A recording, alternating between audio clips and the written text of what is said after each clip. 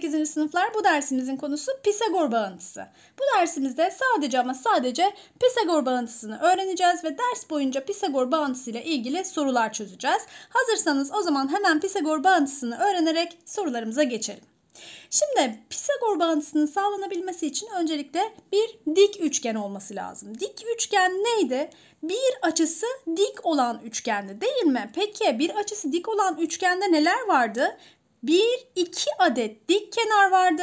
Bir de dik açının karşısındaki kenar vardı. Şimdi bu dik açının karşısındaki kenarın bir adı var. Dik üçgenlerde 90 derecelik açının karşısındaki kenara hipotenüs denir. Demek ki buradaki B uzunluğu B uzunluğuna ait kenar neymiş? Hipotenüsmüş. Şimdi bunu öğrendik. Gelelim Pisagor bağıntısına. Bir dik üçgende dik kenarların uzunluklarının karelerinin toplamı hipotenüsün uzunluğunun karesidir diyor. Dik üçgendeki bu bağıntı Pisagor bağıntısı olarak adlandırılır. Şimdi dik üçgenimiz var. Ne demiş? Dik kenarların uzunluklarının karesinin toplamı. Yani A'nın karesi artı C'nin karesi dik kenarların karelerinin toplamı neymiş? Hipotenüsün karesinin eşitmiş.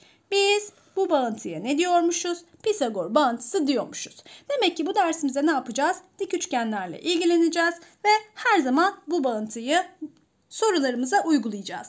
Şimdi aşağıda bir örneğimiz var. Yanda verilen üçgende hipotenüsün uzunluğu kaç santimetredir demiş. Hipotenüs neydi? Dik açının karşısındaki kenar da burada x olarak adlandırılmış. E ne yapıyorum o zaman? Dik kenarların karelerinin toplamını alacağım değil mi? Yani 3'ün karesi artı 4'ün karesi eşittir x'in karesidir diyeceğim.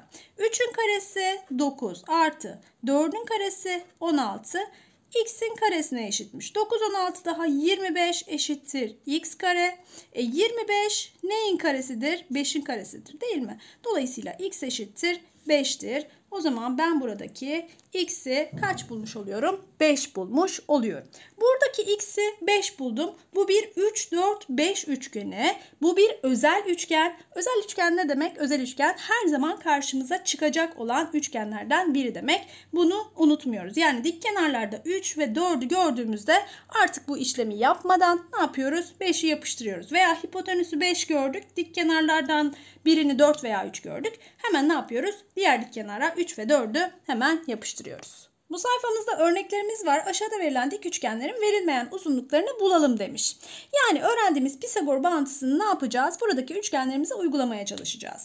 Şimdi hemen bakalım. İlk önce ABC üçgenine baktım. Burada hipotenüs verilmemiş. Dolayısıyla ne yapacağım? Dik kenarların karelerinin toplamını alacağım. Yani 7'nin karesi artı 24'ün karesi eşittir. Ne diyeceğim? X kare diyeceğim. 7'nin karesi 49 artı 24'ün karesi 576 eşittir x kare diyorum. 49 ile 576'yı topladım. 625 buldum. O da x kare eşittir. Daha sonra ne yapacağım? Kareköklerini alacağım. x eşittir. Ne bulacağım? 625'in karekökü 25'tir. Dolayısıyla 25 santimetreymiş ilk üçgenimizin hipotenüsü. Şimdi Pisagor bağıntısında kareköklü e, sayılarla da bayağı ilgileneceğiz açıkçası.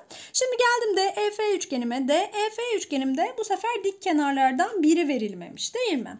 Dolayısıyla yine ne yapacağım? Y'nin karesi yani dik kenarlarının karelerinin toplamı diyeceğim hipotenüsün karesine eşittir. E ne yapıyorum? Y kare artı 36 eşittir. Onun karesi 100. 36'yı karşıya geçirdim. Y kare eşittir. 100'den 36 çıktı. 64 kaldı.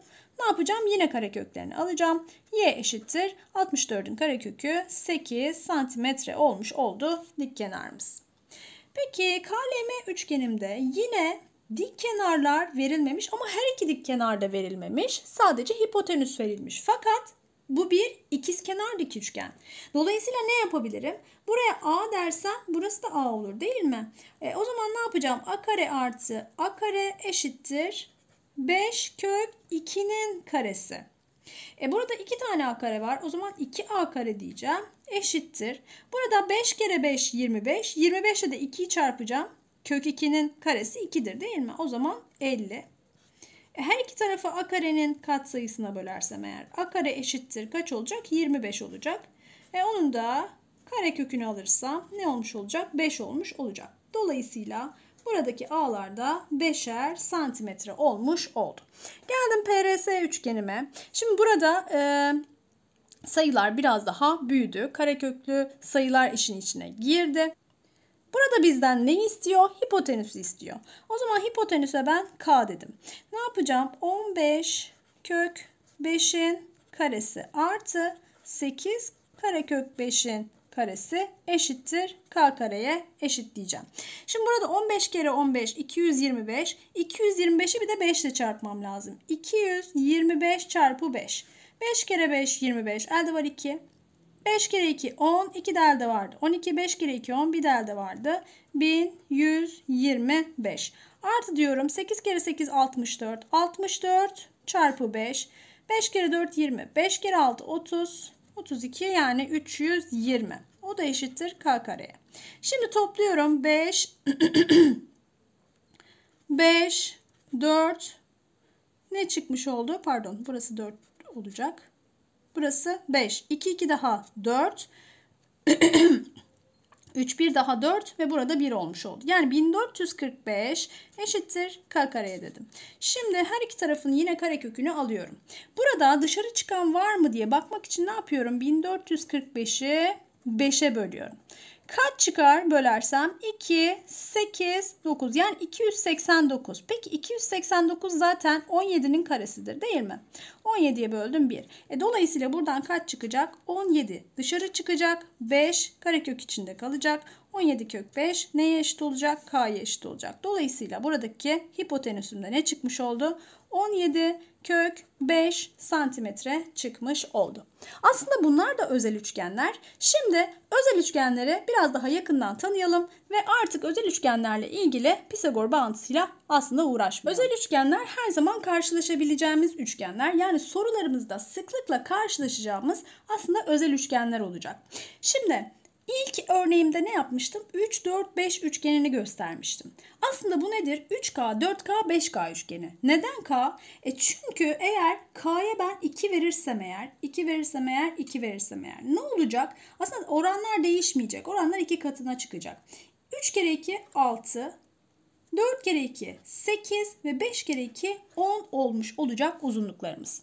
Şimdi biraz önceki sayfamı alıyorum. Bakın burada ne bulmuştum? 6 8 10 üçgeni. Dolayısıyla 6 8 10 üçgeni aslında yine burada 6 8 10 üçgeni 3 4 5 üçgenin e, iki katlayarak yani oran olarak iki katı değil mi? Dolayısıyla 3 4 5 üçgeni 6 8 10 üçgeni olabilir. Veya K'ya 3 verirsiniz. 3 kere 3 9 3 kere 4 12 3 kere 5 3 kere 5 15. Yani 9 12 15 üçgenine de dönüşebilir. Bu konularda uyanık olacağız. Bunları Pisagor bağıntısı yapmadan hemen görmemiz lazım. Neden? Çünkü sayılar büyüdükçe Pisagor bağıntısıyla e, ilgilendiğimiz sürede ne olmuş oluyor? Artmış oluyor. Aynı şekilde 7K, 24K ve 25K üçgeni. Bakın biraz önceki örnekte o da vardı değil mi? Biz burada Pisagor bağıntısıyla hipotenüsümüzü 25 olarak hesaplamıştık. Bu üçgende aklımızda kalacak. Yani yine burada eğer ikişer kat veya üçer kat verildiğinde uyanık uyanık olacağız. Bize 14 pardon 14 48 50 üçgeni verildiğinde de hemen ne yapacağız? Aa bu 7 24 25 üçgeninin ikişer katı yani oran olarak iki katı. Dolayısıyla bu da bir dik üçgen olarak bakacağız. Ya da bir uzunluğu verilmediğinde onu Pisagor bağıntısı yapmadan bulmaya çalışacağız. 5, 12, 13 üçgenimiz var. Yine özel üçgenlerimizden.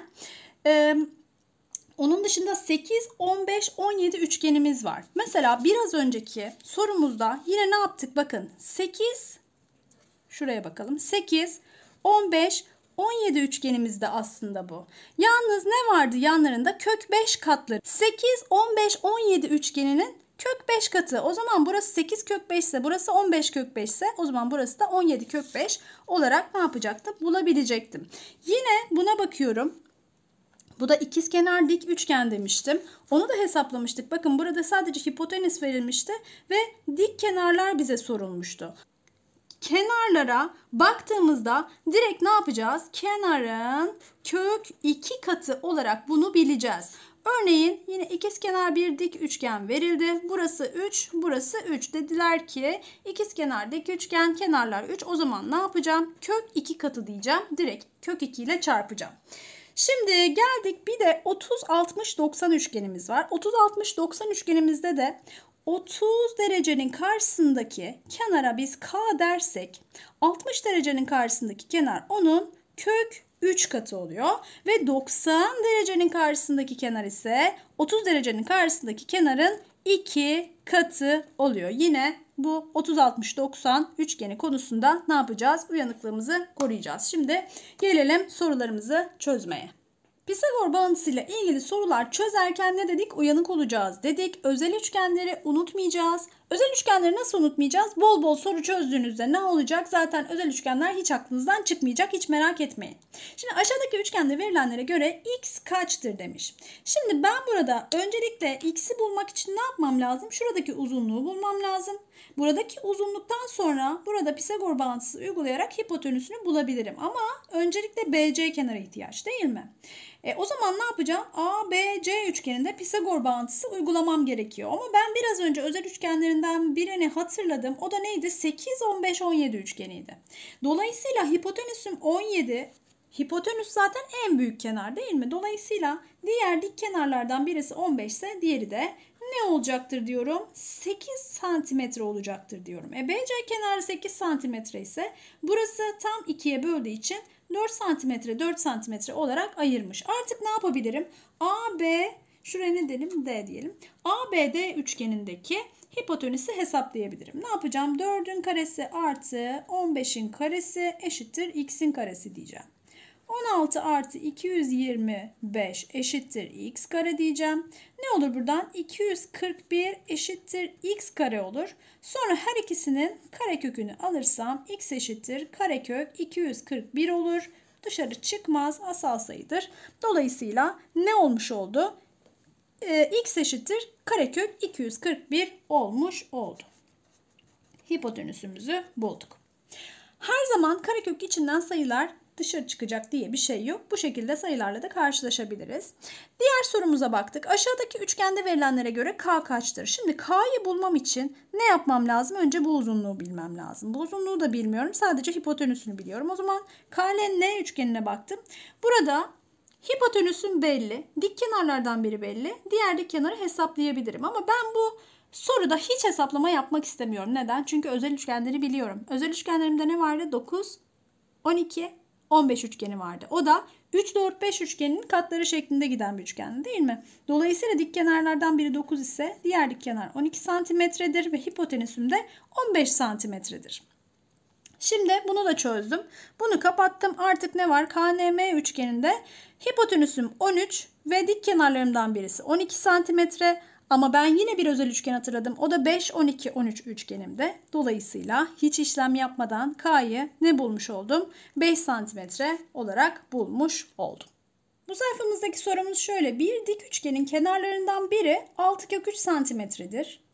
Bu dik kenarı gören açı diğer açının iki katı ise üçgenin hipotenüsü kaç santimetredir demiş. Hiç şekil yok. O zaman biz ne yapalım? Şeklimizi bir çizelim. Bir dik üçgenin demiş. O zaman dik üçgenimi çizdim.